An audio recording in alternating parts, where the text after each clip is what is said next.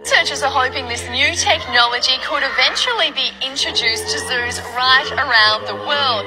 But the visitors here at Melbourne Zoo, they may be lucky enough to experience it for themselves, the trial running sporadically throughout the rest of the month.